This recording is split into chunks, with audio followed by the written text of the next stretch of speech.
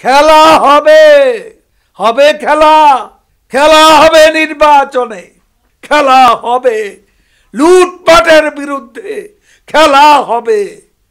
প্রস্তুত হয়ে যান বিরোধী দলের আজকে যে আন্দোলনের ডাক দিয়েছে, আন্দোলনের নামে তারা বিশৃঙ্খলা তৈরি করতে পারে, আগুন সন্ত্রাস করতে পারে, কারণ তাদের জন্মই হয়েছে সন্ত্রাসের মধ্য দিয়ে।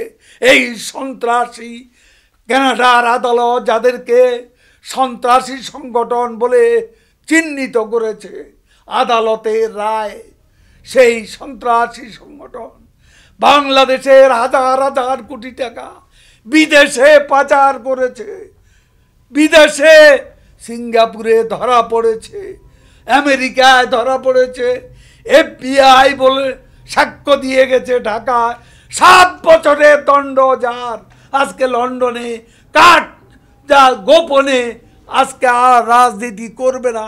মুসলেকা দিয়ে যে পালিয়েছে, তাকে নেতা বানাবেন বাংলাদেশের মানুষ। এত বোকা নয়, ধোকা দিয়ে बोका बानानोर दिन शेष मिर्ज़ा फखरुल साहेब।